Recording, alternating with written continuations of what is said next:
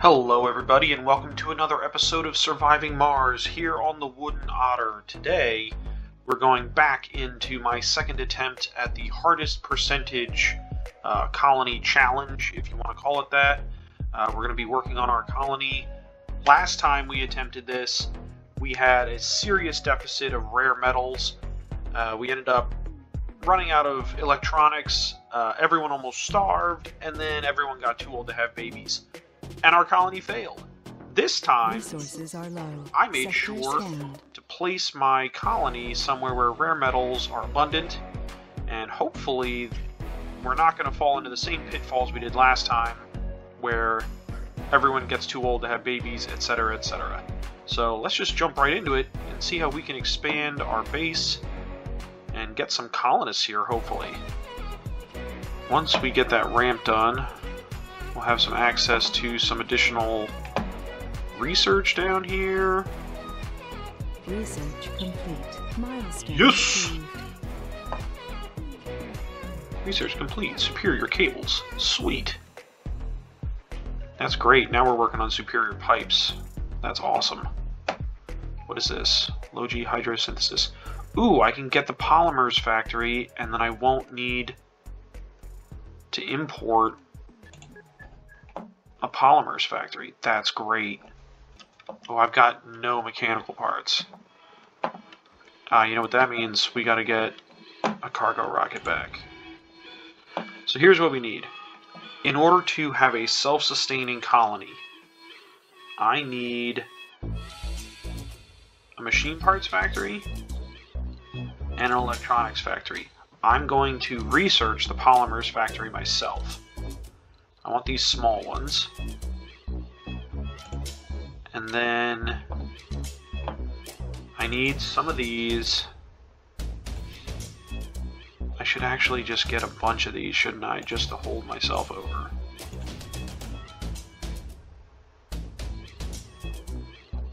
Ooh, and if I got a transport, that would be great. Can I get one of these? Oh, I can! Ooh, I'll have one of each. That's amazing.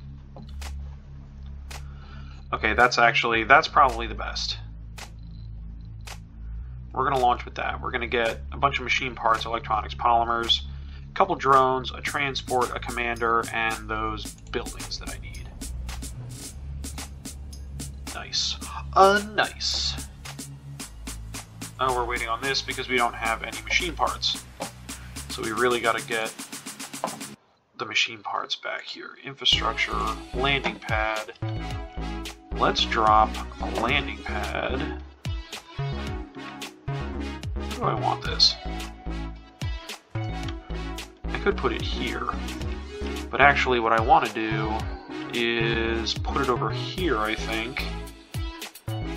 So that I can get my rocket as a temporary temporary like building drone controller. Is this what I want to do? No, because I have a controller.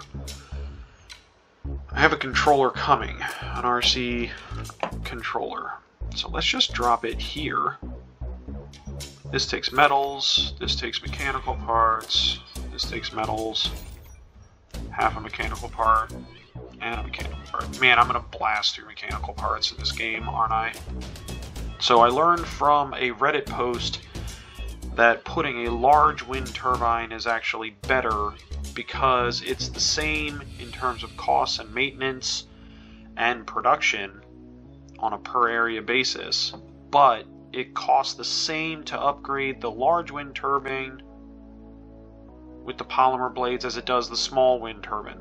So it's actually you get more bang for your buck upgrading a large wind turbine than you do a small one. So there's no reason to use small wind turbines.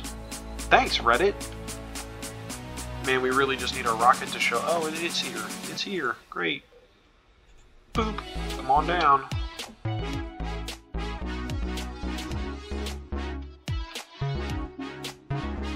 We should work on. Whoa, that's fast on the uh, fast setting. Alright, so he's got auto gather on. gather all that stuff. Let's see here. Production. A polymers factory takes workers. I can build these. Polymers has no demand. Machine parts has 0.3, electronics has 0.1. So let's start building up some dome equipment. Man, I wish I had the farm unlocked.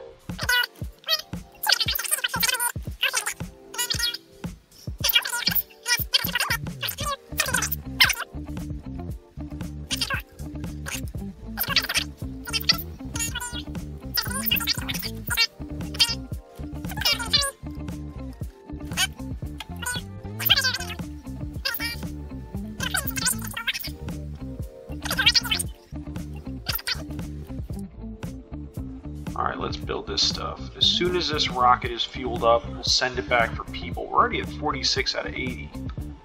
That's great. This thing's going to pump out 12 per sol.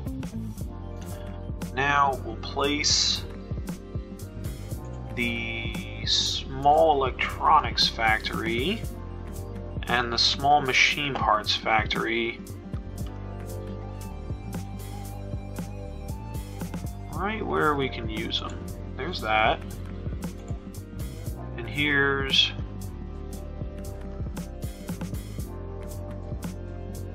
I kind of like that.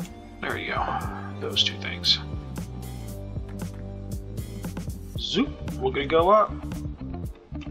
I'm gonna get people here in no time.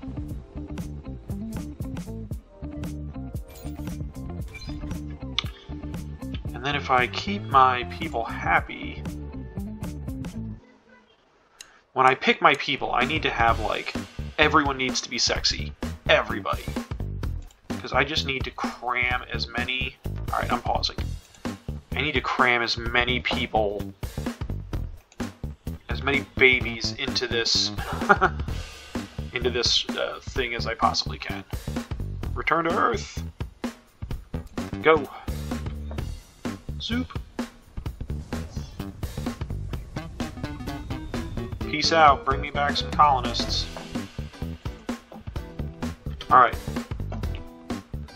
My rocket ship is currently in orbit around Earth, awaiting passengers. Okay. I got rid of all of the colonists on here. We're going to filter it, and we are going to start with. I want adults.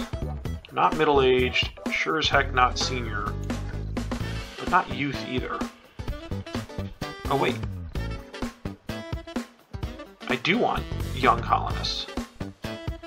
Like, I don't want middle aged. Able to work in all buildings. Yeah, I want youth. But I don't want children, and I don't want seniors. We'll apply that. And then we'll go filter, no specialization, obviously. No preference in sex. I do want six males and females, though. Although maybe I want more females. Perks. Don't care about celebrities. I want... Yeah, we don't have any genius, so it doesn't matter. I want sexy. We need sexy. And I want workaholic. And what is what is the one that uh, is it composed? All sanity losses are halved. Yeah, that one's a good one. No comfort penalties when eating unprepared food or having a residence. Eh, nah. Lose less health without food, water, oxygen, or when living in an unpowered dome. So yeah, that'll that'll help too. Sure. Apply. And then let's see if there's any other filters. Flaws. I want. I want no flaws at all. And I want quirks. Uh, has decreased comfort when living near a ranch and won't work in such buildings. Has increased comfort when away from ranches. Okay, well, I don't have any ranches, so sure. So let's get rid of all these. I'm to pick my own people. Thank you very much. So, first of all, Can I go filter and like reapply these? Okay, let's see what they actually picked. Sexy, that's good. Everyone should have the sexy thing. So if you don't have sexy, get right on out of here. Okay, so these are all my sexy people. Now let's see if there's any sexy people on the list still. We'll take all of the sexy people no matter what. Okay. So this is all the people who have sexy as a trait. Now let's go back up. I want workaholics. Because workaholics are awesome. Plus, if you put all workaholics on a building, then you can do a high working, like a, a tough working condition, extra work, and it literally like doubles their output. It's nuts. Let's look at the. I know I have 13 out of 12 here, but let's look at the genders here. One male, one female. Four out of 12 people are middle aged. Ugh. That's 12 people. I've got a bunch of workaholics, which is great. And I've got a bunch of sexy people, which is also great. And a bunch of enthusiasts, too, which is perfect. Okay, we're gonna launch. We've got a shuttle coming in. We've got research happening. We've got ramps and roads being built. This is great. I hope you are enjoying this video, following along with my highest difficulty percentage colony uh, run through surviving Mars. I know I am. Uh, I think we're doing a lot better than we were last time. That is for sure. If you guys did enjoy this video and you want to follow along to see what happens next, feel free to subscribe to the channel, leave a like, leave a comment down below, and I will catch you guys next time here on Surviving Mars on the Wooden Otter. Peace. Dome's falling apart already.